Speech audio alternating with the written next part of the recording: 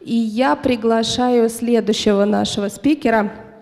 Это Дмитрий Соколов, а, основатель компании Pocket DJ, выпускника акселератора Free.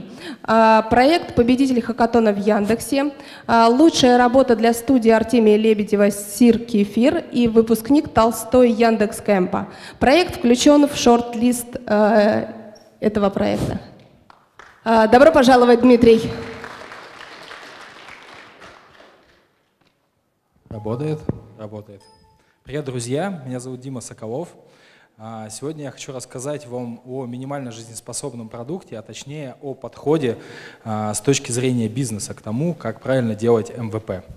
Ну, для начала вообще о том, почему я могу об этом рассказывать.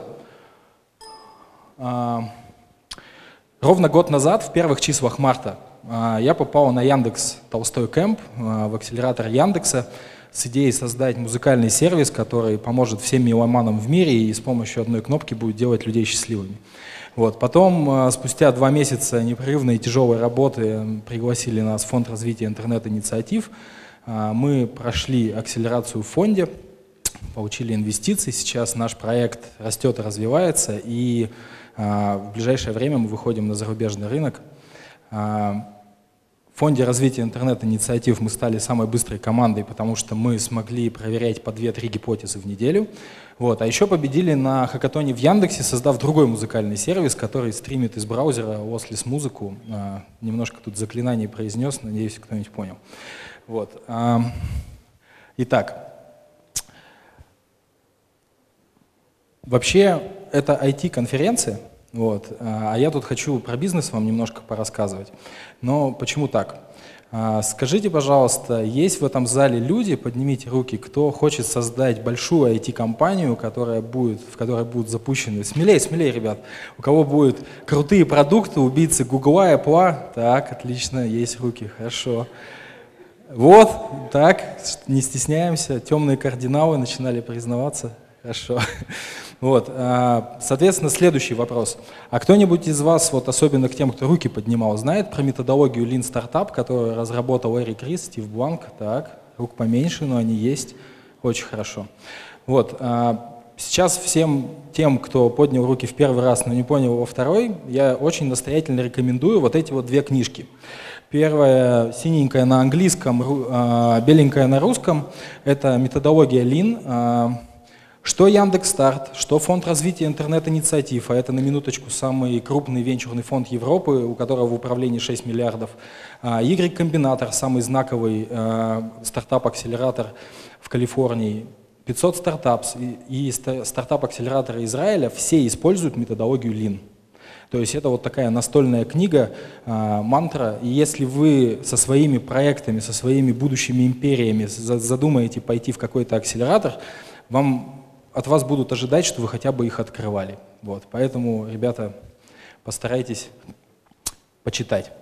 Итак, Эрик Рис э, впервые сформулировал и популяризовал понятие вообще МВП, Minimal Viable Product, а, минимально жизнеспособный продукт.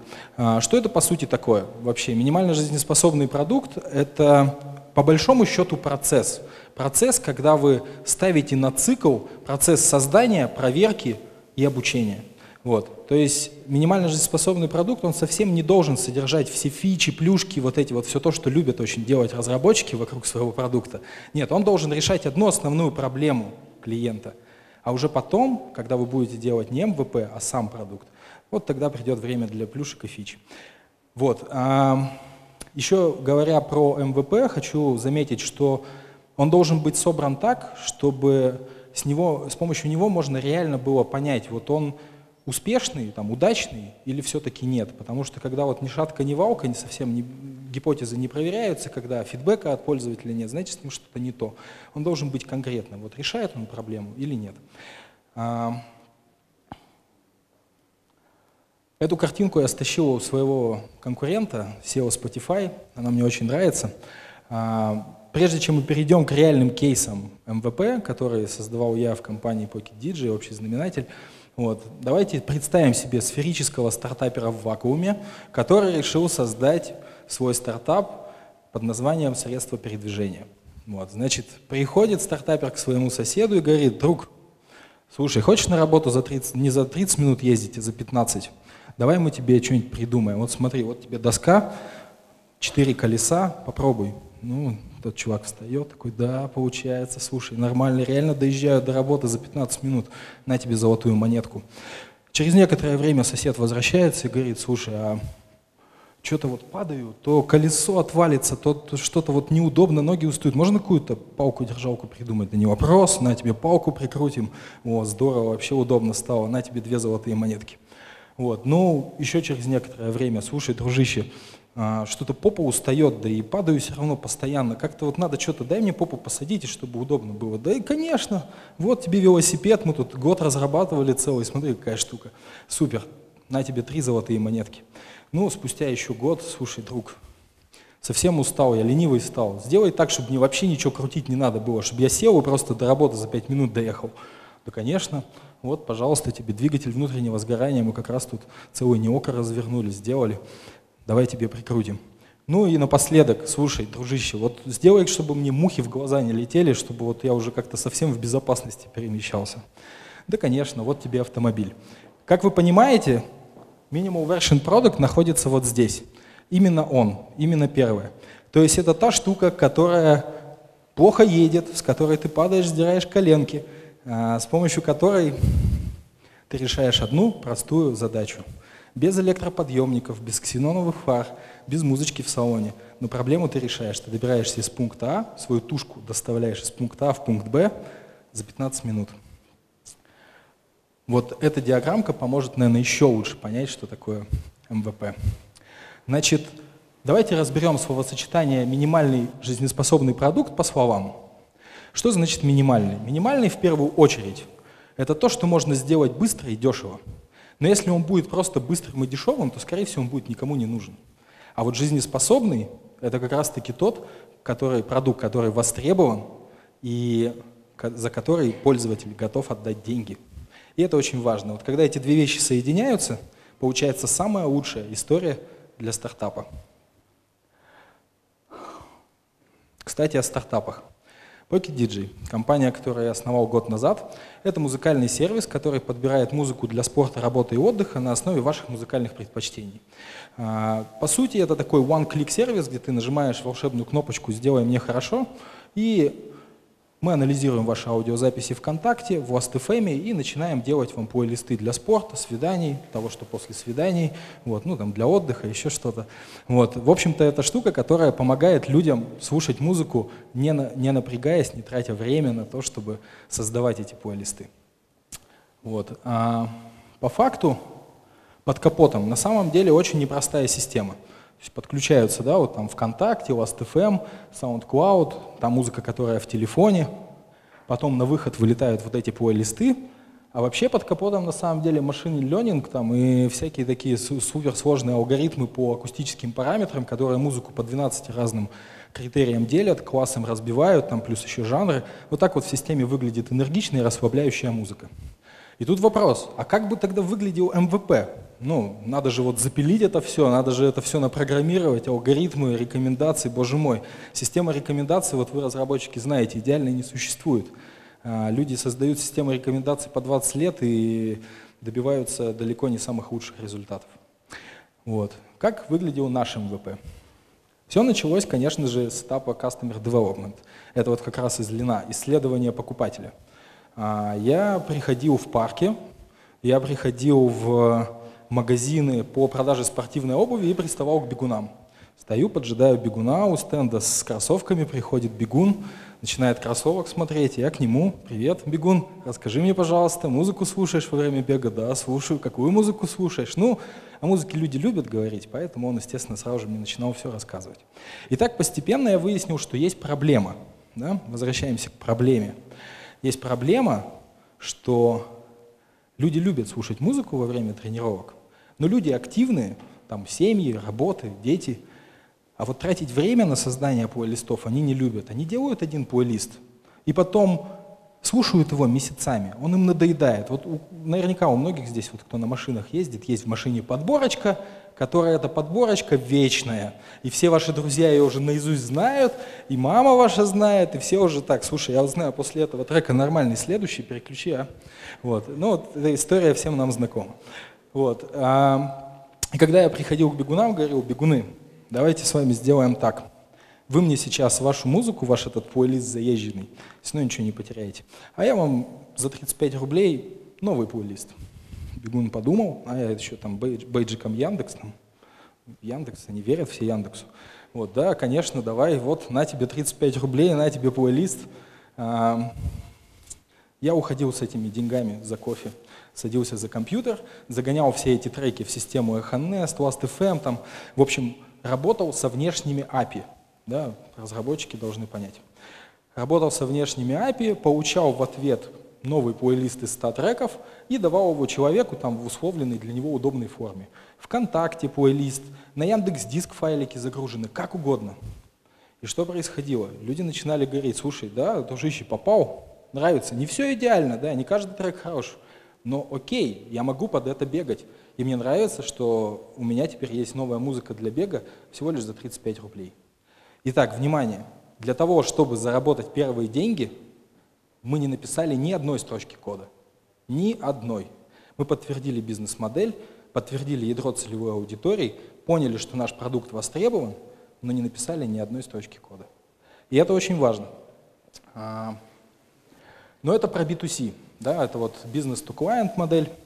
Теперь давайте поговорим про B2B-шную модель. Это вторая компания, которой я сейчас активно занимаюсь. Общий знаменатель. Вообще, по сути, это система мониторинга бизнес-показателей, которая предназначена для того, чтобы смотреть бизнес-метрики в режиме онлайн. Основная целевая аудитория – это собственники бизнеса, руководители отделов продаж. А, как выглядит кейс использования, да, вот как примерно вообще, зачем это надо. Вот у вас есть собственный бизнес, есть отдел продаж, сидит там пять менеджеров, дубасят по телефону. Насколько эффективно работают менеджеры? Зарплату-то я им исправно, исправно плачу, а вот э, кто из них как бы деньги приносит в компанию, а кто тратит, непонятно. Вот. И мы придумали систему, которая на самом деле достаточно сложная технологически – там идет интеграция CRM-системы, IP-телефонии, кау-трекинга, система учета трафика, Яндекс.Директ, Google AdWords. Все это, вот, все это сшивается так вот со всех отовсюду, данные забираются, забираются, забираются. Вот, и потом делаются вот такие вот отчеты. Вот у нас там плохо видно, конечно, к сожалению.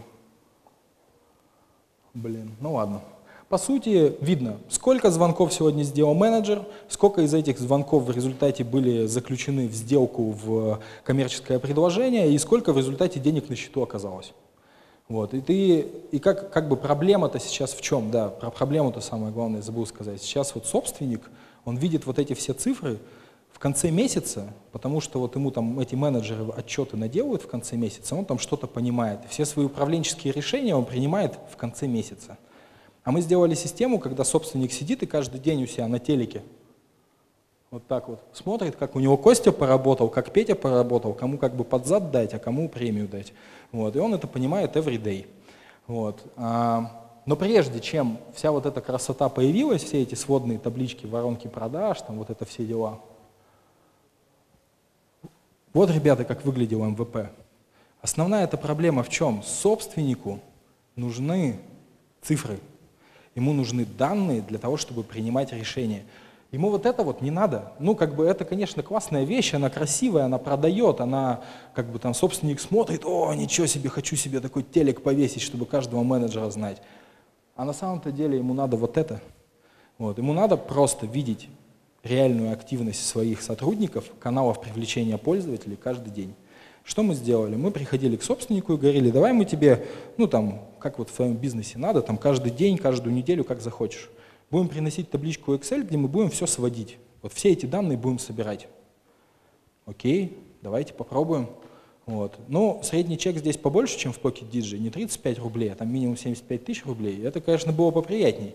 Вот. И когда люди начали соглашаться, когда люди говорили, да, ребят, вы мне помогаете, я вот тут Петю взял нового, так он у меня не два месяца, как раньше, а, на испытательном сроке работали балбесы мои, а за две недели я понял, что этот Петя мне не поможет в бизнесе, и мы с ним распрощались. Соответственно, человек сэкономил себе зарплатный фонд да, на 75%. конкретно там с Петей. Точно так же и про рекламу. Сейчас кризис на дворе, заливаешь 200 тысяч там в рекламу, знаете сервис Booking.com, вот они 2 миллиона долларов на контекст в день тратят. И вот если ты не видишь, как у тебя эти деньги тратятся, то они у тебя просто в холостую сливаются. А когда у тебя есть четкий отчет по каналам привлечения, когда ты видишь, сколько у тебя SMM принес, Яндекс Директ, сколько конкретно в прибыль превратилось, да, вот рубль вложил, сколько вернулось. Это уже совсем другая история. Итак, давайте закрепим. И в том, и в другом кейсе для того, чтобы заработать первые деньги, подтвердить бизнес-модель, подтвердить ядро целевой аудитории, да, вот самых ранних последователей так называемых, мы не написали ни одной строчки кода. Программисты очень любят программировать. Вот вы для себя, ребят, которые руки поднимали и в первый и во второй раз, определитесь, вы программировать хотите или бизнес делать. Потому что если очень хочется писать код, да, это знаете, там, я не хочу ничего решать, я хочу код писать. Вот если вот как бы вот эта история, то, ребят, Яндекс, Apple, Google, там супер интересные задачи, и там вы добьетесь успеха. Но если очень хочется писать код, а проверять гипотезы, ходить продавать не хочется – то есть риск просто залететь в, в ту группу риска, которая 90% стартапов, которые в результате даже на рынок не выходят. Вот. Поэтому не бойтесь, пробуйте, ищите наколенные решения, приходите к вашим клиентам и пытайтесь понять, решаете вы их проблему или нет.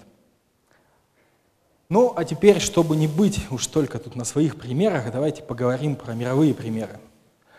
А, кстати, да, важный нюанс вот про программистов, которые, следуя вот этой бизнес-логике, добились успеха. Facebook, Dropbox, Google, Яндекс. Продолжайте, кто мне поможет, может. Вот эти вот все компании основали программисты, но они в нужный момент почувствовали бизнес-жилку и начали бизнес делать, а не код пилить. Ну и код пилили тоже хорошо, конечно. Не пилили бы хорошо, не было бы у них успеха.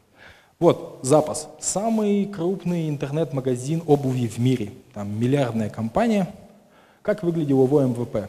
Одностраничный сайт, сделанный за 4 часа, на котором есть фотографии обуви и кнопка «Заказать». Когда нажимаешь кнопку «Заказать», появляется окошко, где надо оставить номер телефона и имя. Что этот чувак сделал? Он пришел в магазин обуви, соседний, рядом, в соседнем доме, и говорит, слушай, друг, дай мне твою обувь пофоткать. А зачем? Ну, я продавать ее буду. Как ты будешь ее продавать? Ты не парься, как я ее буду продавать. Ты мне дай обувь пофоткать. Окей, хорошо. Пофоткал обувь, выложил на сайте. И что получилось? В результате у него начали покупать. Он получал заказ, созванивался с клиентом, узнавал, где он находится, приходил в магазин, выкупал обувь, приходил, продавал с небольшой маржой. Так он продал тысячу пар обуви за три месяца. Получил первые инвестиции. Что он сделал на первые инвестиции? Запилил нормальный сайт.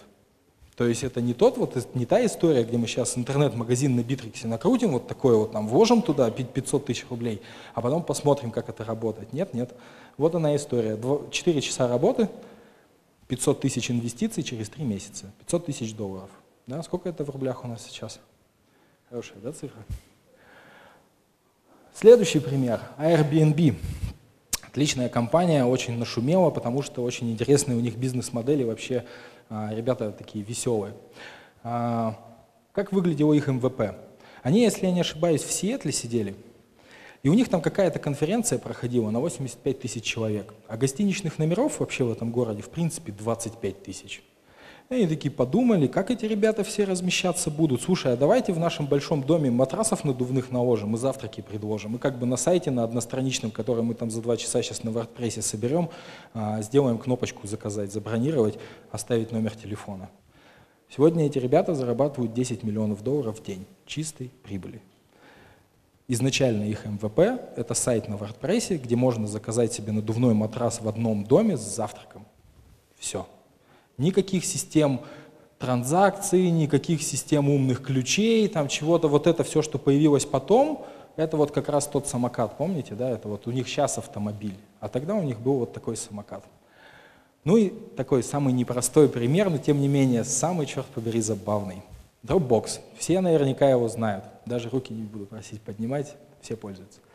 Вот. А, сложный продукт технологический, да, вот реально сложный, синхронизация файлов. Как тут можно сделать МВП на коленке? Вы удивитесь, как этот чувак поступил. Ну, вообще, история короткая. Он э, ехал на какую-то IT-конференцию и забыл флешку. Ну, ему пришла идея, надо бы запилить что-то. Вот надо сделать сервис облачной синхронизации данных. Бабушки в транс входят, когда это произносишь, и девушки тоже. Вот. Начал он пилить прямо в поезде этот сервис и понял, что пилить месяца три. Ну, то есть только через три месяца он что-то выкатит, и только через три месяца он получит какой-то первый фидбэк и вообще поймет, надо ему это или нет, надо это людям или нет. Но где-то внутри вот что-то говорило, надо, надо, черт побери, это будет вообще бомба. Что он сделал? Да он видео записал. Он записал видео, где он просто файлики таскал, говорил, вот это будет тут, вот это будет тут, купи. Окей. 150 тысяч e-mail в первый день, 75 тысяч пользователей в первый день, когда сервис открылся. Ни одной строчки кода. Просто видеоролик, который рассказывал о том, что будет. Dropbox. Ну, в завершении скажу такое лирическое отступление. Давайте посмотрим на эту диаграммку. Да? Вот продукт. Программисты любят пилить продукт, мантра. Вот он где. На втором месте снизу. Это причины, из-за которых стартапы дохнут. Вот если пилить три года продукт, то гибель-то будет, вот, скорее всего, где-то там вверху по этим причинам. Вот. А к чему я вообще об этом? К тому, что то, о чем я рассказывал, то, как мы подходили к созданию МВП, это вот закрытие решения первых, там, первой основной вообще проблемы. Мы понимали, есть рыночная потребность или нет. Это нужно вообще или нет. А вот после того, как поняли, что да, вроде бы как нужно, давайте-ка продукт запилим. Вот, поэтому, ребят, а, не надо думать, что ваш продукт обязательно должен быть филигранным, просто выточенным, вылизанным, только потом его там начнут покупать. Есть разные целевые аудитории. У меня, к сожалению, не хватило этого слайда. А, есть вот такое понятие ранние последователи. Это люди, которые готовы сдирать коленки на вашем самокате, которые готовы прикручивать каждый день колеса задние, там, которые отваливаются, но они будут пользоваться, потому что их боль, их проблема, она острее, чем у всех остальных. Они готовы. Они готовы тебе платить 35 рублей за то, чтобы ты им этот плейлист ВКонтакте прислал хоть где-нибудь, потому что их так достал этот их плейлист предыдущий, что вот уже сил просто нет. Вот есть такие люди во всех а, начинаниях, и их просто надо найти. И вот если вы их найдете, там, человек 100, 200, 50, 300, почувствуете, что да, потребность есть. Вот теперь можно и продукт пилить. Немножко про free вопрос. Ой, там была где-то...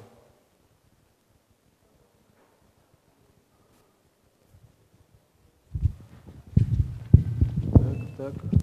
О, да, готов ответить на ваши вопросы. Прошу. Здравствуйте. Привет. У меня вот такой вопрос. Э, получается, когда мы создаем какой-то минимально жизнеспособный продукт, мы как бы решаем для себя, как мы будем э, получать деньги с этого продукта. Да? Вот вы рассказали ну, примеры, которые в основном основываются на получении денег за именно конкретную услугу. Ну, там подборка плейлиста и так далее. Ну, сейчас вот на, на, на нашем мире очень много методов монетизации, как, допустим, реклама, размещение рекламы на своем, ну, на своем сервисе. И вот у меня вопрос, э, какие, на ваш взгляд, лучшие методы монетизации продукта? То есть это продажа, реклама или какие-то лучше использовать, какие-то хуже? Как вы считаете? Спасибо за вопрос. А, смотри, вот получение денег за продукт, да, вообще за услугу, за что-то, это по сути факт валидации, подтверждения, что человеку это надо. Вот если он со своими кровными расстается, я не знаю, вот, ребят, кто, наверное, пилил когда-то продукт, да, у всех, наверное, была такая история. Сидим на кухне с катанами, ну-ка, что, что ты там новое придумал? Да вот, смотри, какую штуку крутую запилил, нравится? Очень. Гениально. Слушай, а ты бы купил? Да, купил бы. Ну, давай, 130 рублей. Слушай, да у меня что-то нет сейчас. Там, не знаю, давай там ты еще логотип покрасивее придумаешь, кнопочку переставишь, может, куплю. Вот эта вот история, да, такая утрированная, она очень часто происходит с э, разного рода продуктами. Вот. И в тот момент, когда люди тебе начинают отдавать деньги, ты понимаешь, что ты решаешь их проблему. О способах монетизации, э, их огромное количество. Вот. Про способы монетизации там, с помощью рекламы А, ну смотри, я давай вот тебе просто скажу примерно конкретно на Pocket DJ, и ты как бы поймешь, наверное, как-то на свой вопрос. А, у нас сейчас там 25 тысяч пользователей, прослушано там 500 тысяч треков, ну, в общем, есть у нас пользователи, но если мы сейчас включим аудиорекламу, один из способов монетизации, а в России, к сожалению, люди за подписку платить не очень хотят, именно поэтому мы за рубеж и шагаем. Да? Пока ВКонтакте существует, денег в музыкальной индустрии будет очень мало. Так вот, если мы сейчас включим аудиорекламу, у нас очень много пользователей разбежится, потому что они скажут, ну блин, я музыку хочу слушать, а вы мне тут про ботинки рассказываете, там, про мероприятия Ляписа Трубецкого в городе, я вообще другое слушаю. Вот. А, то есть мы сейчас, например, с рекламой не рискуем, потому что на этом количестве пользователей мы не заработаем то количество денег, которое вот нам нужно. Там будет доход 10 долларов в день. Ну, поможет это тебе жить, вот, проект растить или нет? А вот пользователей сколько ты потеряешь, это другой вопрос. Поэтому, подходя вообще к вопросу монетизации через рекламу, посмотри на сервисы, которые применяли такую бизнес-модель. Они наращивали аудиторию до 100, 200, 500 тысяч э, пользователей – и потом ее аккуратно, очень постепенно, поэтапно начинали вводить. Вот. И там контекстная реклама такая вот прямо. Ну, в общем, к чему я? К тому, что пока у тебя немного пользователей, ты, скорее всего, себе навредишь и денег не заработаешь. Когда у тебя пользователей много, эта модель работает. А про другие системы монетизации тоже могу рассказать, но если интересно, подходи после выступления, по конкретике поговорим, хорошо? Угу. А, привет, меня зовут Лев. У меня несколько вопросов к тебе. А, как ты собрал команду и где найти человека в стартап? Ну, команда — это самое главное. Очень главное вообще. Это в точку. А, мы тут недавно собирались выпускниками Яндекс Толстой Кэмп, дебатировали, что самое главное человек вынес, там, кто что самое главное вынес из Яндекс Акселератора. Вот, и сошлись на мнении, что самое главное это, конечно, команда.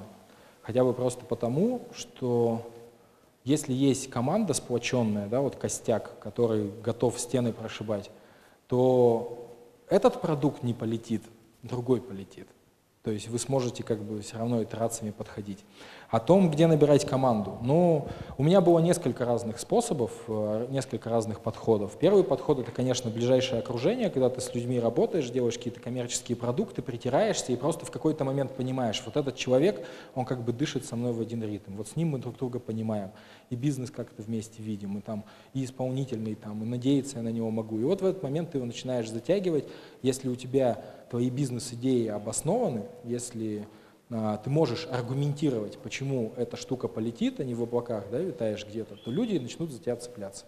Поэтому побольше конкретики, побольше реальных расчетов, и ты сможешь потянуть людей из ближнего окружения. Если в ближнем окружении кандидатов немного, то очень хорошая история со стартап-акселераторами.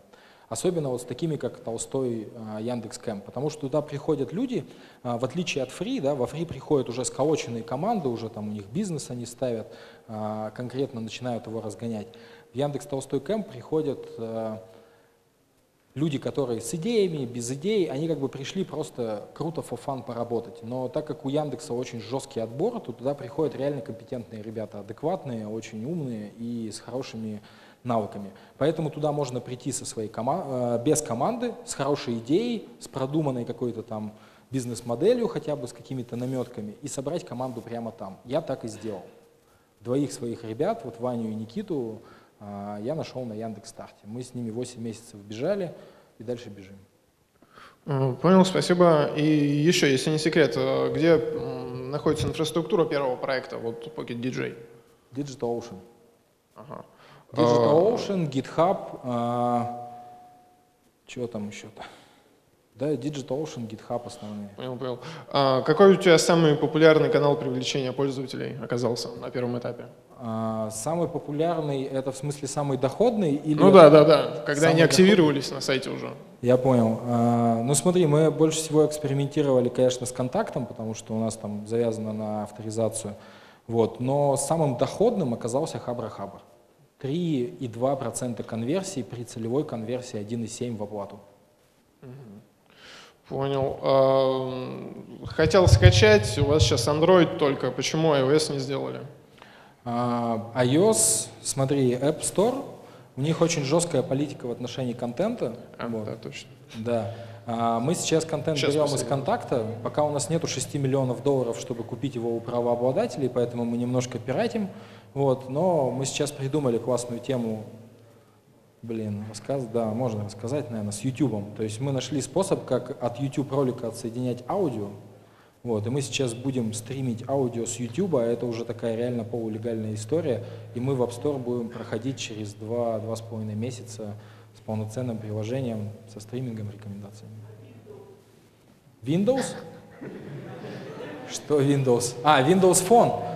А, слушай, на, Windows Phone вообще интересная история. Могу немножко поделиться статистикой тоже про бизнес, что если взять платящую аудиторию iOS за 100%, то на такое же соотношение пользователей Google только 10%, да, там, которые готовы платить, ну, андроида, как ни странно.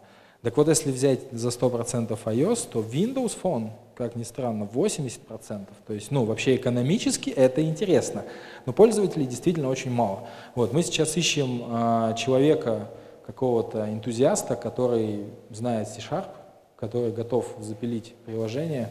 Если мало ли тут в зале есть желающие с музыкой поработать, welcome. Следующий вопрос. Хотел бы еще от себя посоветовать, вот к первому слайду, где книги, еще как бы хорошее издание построение бизнес-модели Астровальдера. Да, Это шикарная вообще вещь. да. Всем стартаперам рекомендую. Спасибо. Здравствуйте, меня зовут Евгения. А, Хотела бы, у меня такой глобальный вопрос хотела бы задать. А, Смотрите, у нас есть замечательная идея, у нас есть самокат. А, Собственно, у нас есть первые пользователи, очень довольные пользователи. А Что делать с конкурентами? На рынке появляется тут же велосипед, и наши довольные, замечательные клиенты уходят, к, собственно, к более продвинутому сервису. Что делать в этом случае и какие вообще решения существуют для данной проблемы? Спасибо. А, конкуренты, да. Конкуренты есть всегда вообще. Сейчас вот ей вышел на мировую арену Китай.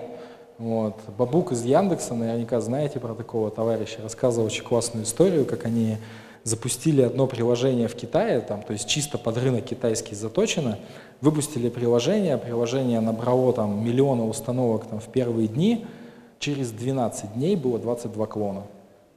А, ну, Китай. Вот. К чему я вообще про это? К тому, что конкуренты были, есть и будут. Вот. А, Есть несколько способов борьбы вообще как бы с этим явлением. Первое – это наращивание неконкурентных преимуществ. Да? Ну вот, а, если взять на примере Pocket DJ, то у нас эта тема, она связана с тем, что мы систему рекомендаций выстраиваем несколько иначе, чем это делают вообще принято как стандарт в отрасли.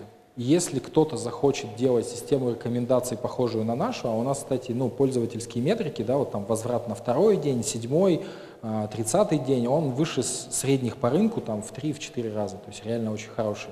Некоторые люди из Яндекса нам говорят, что у вас алгоритм рекомендаций лучше, чем у Яндекс Музыки. Вот. А, К чему я об этом? Что есть, должны быть какие-то маленькие моменты вот в продукте, а, которые конкуренты повторить, безусловно, смогут, повторить можно абсолютно все. Но им на это надо будет потратить там, месяц, два, три. А пока они вот этот месяц, два, три разрабатывают, вы-то на месяц, два, три впереди, и вот если вы темп умеете не сбавлять, то это может помогать бежать впереди. Это первое. Второе.